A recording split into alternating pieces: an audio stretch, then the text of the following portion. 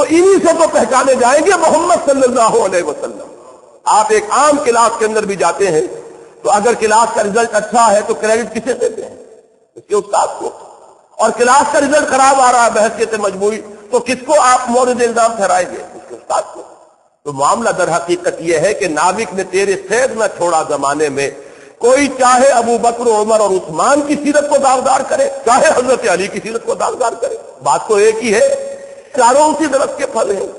चाहे इधर से तीर चला दो, चाहे उधर से तीर चला दो, तीर तो पहुंचेगा मोहम्मद रसूलुल्लाह की जात पर। हाँ ये हिकमत है, ये जहानत है कि बराह रास्त हजूर को अगर कई हदफ बनाएँगे तो शायद खून की नदियाँ बह जाए।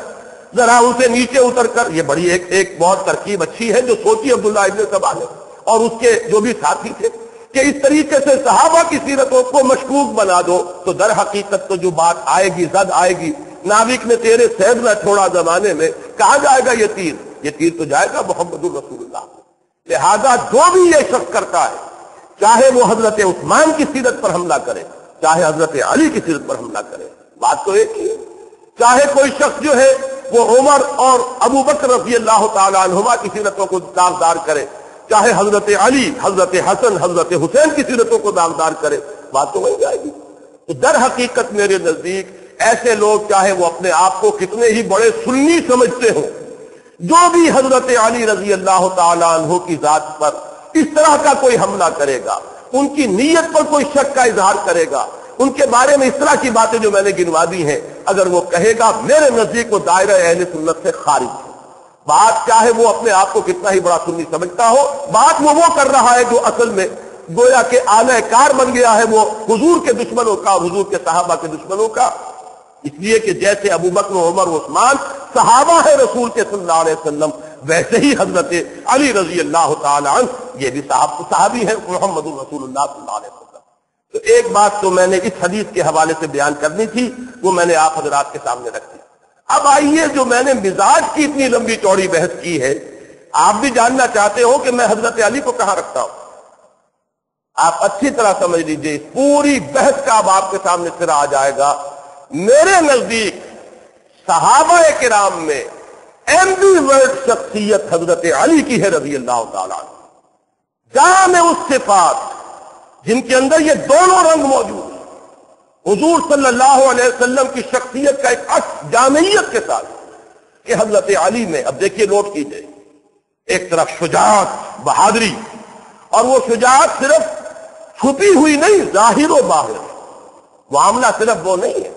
हज़रत अबू बकर यकीनन बहुत शुजात है रज़ी अल्लाह और मैं आपको सुना चुका हूँ हज़रत अली ही का खुतबा, जो हज़रत अबू बकर के इंतकाल पर आपने दिया है। और हज़रत अली ने यह फरमाया था कि, अबू बकर, हम में सबसे ज़्यादा बहादुर और शुजा तुम थे। तुम थे जो पहरा दे रहे थे बद्र की शब मोहम्मद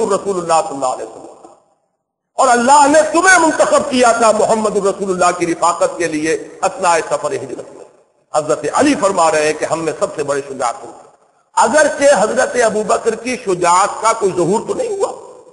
किसी पहलवान से आपका मुकाबला आता है सीरत में किसी के साथ दू बदू जंग की कोई तफसील आती है सीरत के अंदर? एक और बात है, वो इरादा और आजू कि अबू बकर ने अपने बेटे से कहा था, जब बेटे ने कहा अब्दुलरहमान इब्न अबी बकर ने कि अब्बाजान बदर में आप मेरी जद में आ गए थे, वो कुफार की तरफ़ से आया था लड़ने के लिए, इसलिए उस वक्त तक ईमान नहीं लाए थे। बाद में ईमान लाए अब्दुलरहमान इब्न अबी बकर।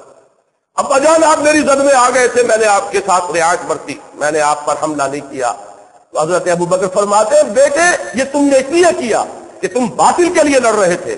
खुदा की कसम, अगर तुम मेरी जद में आ जाते, मैं कभी न छोड़ता ये इरादा, ये इस्तेकामत, ये कुत इरादी, ये अजीमत इंतहा पर मौजूद। लेकिन यह कि जहूर उस तरीके से, जैसे हज़रत हमजा की शुजात हज़रत उमर की पहलवानी हज़रत उमर का ये कौल कि जिसकी ख्वाहिश हो कि उसकी माँ उसे रोए, वो आए और मेरा रास्ता रोक ले। मैं जा रहा हूँ हिजरत के लिए। मैं चला हूँ मदीने की तरफ़। कोई अगर रोक सकता तो रोक ले। जिसकी ख्वाहिश हो कि उसकी माँ उसे रोए, वो आए और मेरा रास्ता रोके। ये बात हज़रत अबू बकर को नज़र नहीं आएगी और यहाँ मैं ये भी अर्ज़ कर दूँ, मेरी बात को गलत मफहूम में न लीजिएगा। हजूर ने किसी से मुकाबला किया? कहीं है रिकॉर्ड? हजूर ने दूबुदी जंग की किसी के साथ? नहीं।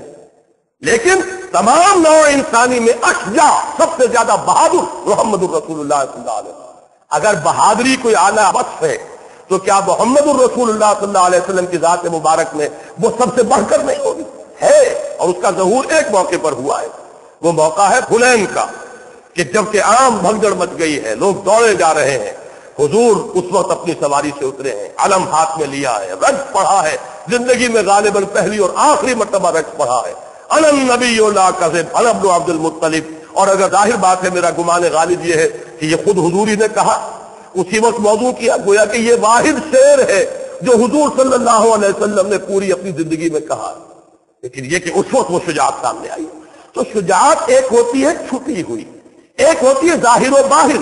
तो हज़रत अली रज़ी अल्लाह तु में वो शुजात सिर्फ़ छुपी हुई नहीं, ज़ाहिर बाहिर शुजात। नुमाया शुजात। वो शुजात जो बद्र में ज़ाहिर हो रही है, जबकि शहबा इबन रबिया, वो भी हज़रत अली के हाथों वासिल जहन्नम हुआ। और वलीद इबन उतबा इबन रबिया, चचा भतीजे दोनों जो है, हज़रत अली के हाथों वासिल जहन्नम हो रहे और जो उतबा इबन रबिया था, वलीद का बाप और शहबा का भाई, वो हज़रत हमजा के हाथ से वासिल जहन्नम हुआ। पहला मुकाबला हुआ, उसमें हज़रत अली नुमाया। जंग आजाब है, उसमें हज़रत अली नुमाया है। अमर इबन अब्द बहुत बड़ा पहलवान। नब्बे बरस की उम्र थी, उस की जब ये मुकाबला हुआ। है लेकिन पूरे अरब में कोई तस्वुर नहीं कर सकता था कि उससे मुकाबला कर सकता है। आपने पढ़ा होगा, सुना होगा वो वाकया, कि जब वो मुबारजत के लिए आया है कि है कोई जो मेरा मुकाबला करे। और ज़ाहिर बात है कि उस वक्त जो है एक दफ़ा सन्नाटा तारी हो गया। हज़रत अली आगे बढ़े कि मैं मुकाबला करूँगा। वो हंसा, तुम मेरा मुकाबला करने आए हो? नाम क्या है? वो जो भी इस्तेजा का अंदाज होता है।